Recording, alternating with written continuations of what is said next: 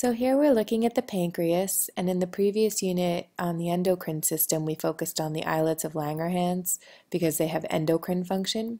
But now we're focusing on pretty much everything else in the pancreas, which is all this dark pink staining material that's all around the islets of Langerhans. And so the pancreas, 85% of it roughly has exocrine function. So it's really the majority of the pancreas has exocrine function. And so the way the, the exocrine part is structured is, it's hard to see at this power, but there's these white cracks. And so those are dividing up these little structures called pancreatic acini. So what structures are these? Pancreatic acini. And what cells are they made out of?